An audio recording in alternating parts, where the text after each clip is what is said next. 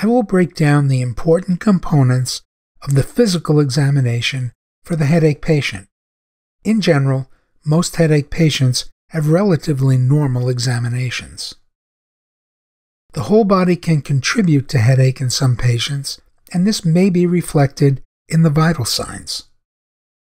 Vital signs are an important part of any physical examination. An abnormality in blood pressure, temperature, and heart rate can contribute to headaches. Blood pressure elevation may be indicative of ischemia or hemorrhage in stroke. Cerebral blood flow is proportionally linked to blood pressure. When the blood pressure fluctuates, the intracranial blood volume is altered, which can alter pressure and result in a headache. An elevated body temperature can be associated with systemic illness. For example, an infection like meningitis can produce a headache. Changes in heart rate and rhythm can also indicate various medical illnesses that may produce secondary headaches, such as atrial fibrillation with stroke. Tachycardia can be an indication of infection, other medical illness, or it could be a marker for severe pain from the headache itself. Auscultation of the heart may give clues to general health and the presence of vascular disease. Examination of the lungs can give clues about ventilation and uncover underlying infection. Auscultate the carotid arteries and the eyes for bruits. Palpate the temporal arteries for ropiness and to assess the pulse, which may be lost in temporal arteritis.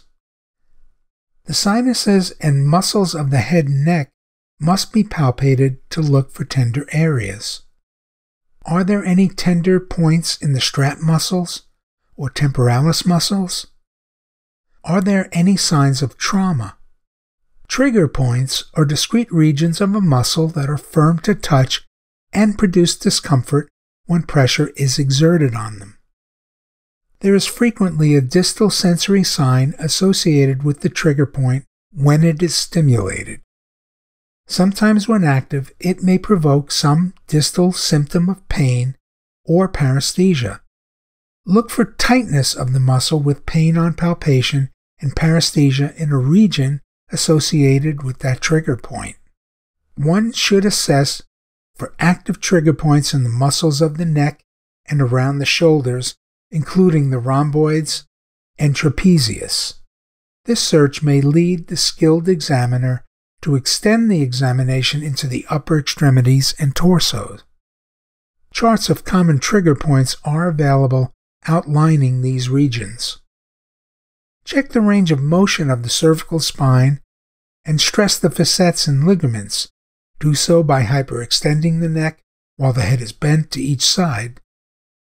Nuchal rigidity may indicate meningeal irritation from blood or infection. Nuchal rigidity is demonstrated with the Brudzinski or Kernig signs.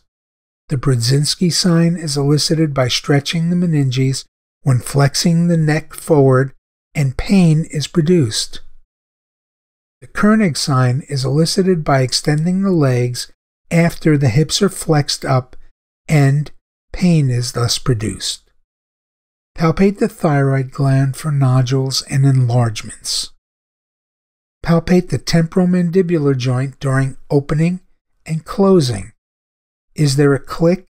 Does the mandible slide or translocate?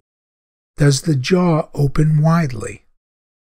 In the next Med Mastery lesson, we'll cover the neurologic examination for the headache patient. So I hope you liked this video.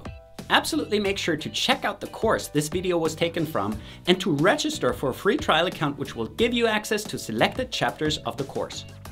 If you want to learn how Med Mastery can help you become a great clinician, make sure to watch the About Med Mastery video. So thanks for watching and I hope to see you again soon.